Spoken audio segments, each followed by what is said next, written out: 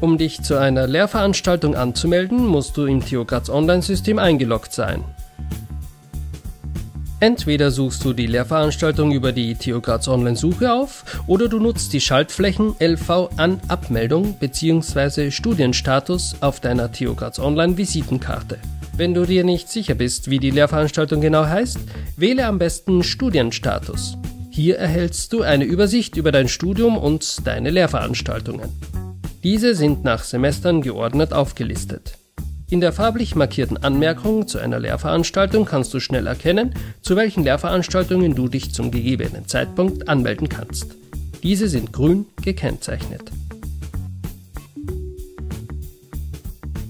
Zur Anmeldung selbst kommst du durch Klick auf den grünen Punkt. Danach musst du noch dein Studium bestätigen, damit du letztlich auf die Schaltfläche Anmelden kommst. Sofern keine weitere Gruppeneinteilung vorgesehen ist, hast du mit der Anmeldung einen Fixplatz in der so bezeichneten Standardgruppe. Sind noch weitere Unterteilungen der Standardgruppe vorgesehen, dies kann zum Beispiel bei Übungen der Fall sein, so musst du dich auch noch für eine der Gruppen entscheiden.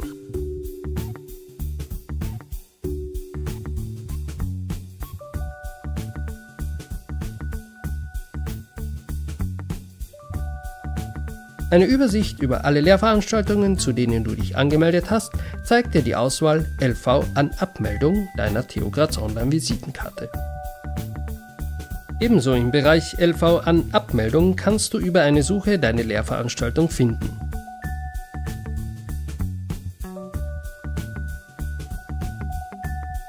Um dich von einer Lehrveranstaltung wieder abzumelden, klicke auf den farbigen Punkt der entsprechenden Lehrveranstaltung und danach auf die Schaltfläche Abmelden.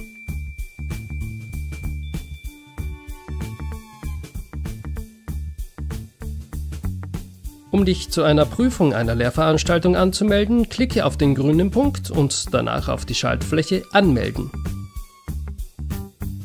Bestätige deine Anmeldung. Danach kannst du dir die Anmeldung optional auch ausdrucken.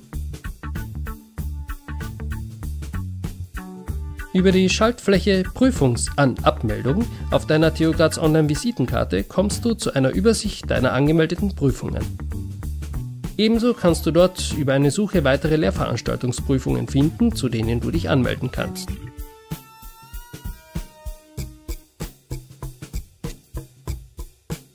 Um dich von einer Prüfung abzumelden, klicke die Schaltfläche Abmelden und bestätige deine Aktion.